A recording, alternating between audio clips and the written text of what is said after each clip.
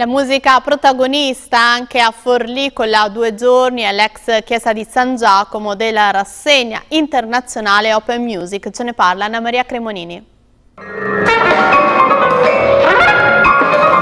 Due giorni di grande musica, quella che emozione, che ha fatto di Forlì, dell'ex chiesa di San Giacomo, un palcoscenico unico.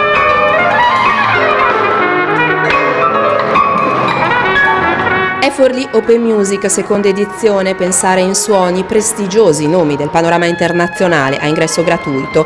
Tra loro la star del jazz internazionale, il cornettista di Chicago Rob Mazurek, che accompagnato dagli Immortal Birds Bright Wings, ovvero Cristiano Calcagnile, Danilo Gallo, Fabrizio Puglisi e Pasquale Mirra, ha presentato la prima assoluta di Forlì Scorsa, composta per l'occasione dedicata proprio alla città romagnola, una dichiarazione d'amore alle dolci colline, all'ospitalità, ai sapori di questo splendido territorio, spiega Mazurek che è stato premiato più volte come miglior jazzista dalle riviste specializzate di tutto il mondo.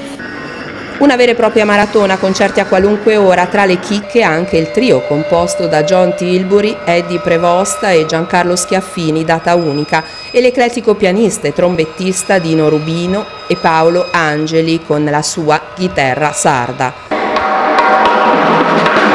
Una riflessione, il tema dell'edizione 2017 del Forlì Open Music organizzata dal Comune di Forlì in collaborazione con i musei di San Domenico, l'associazione culturale Area Sismica e Elisabetta Righini sul tema del comporre.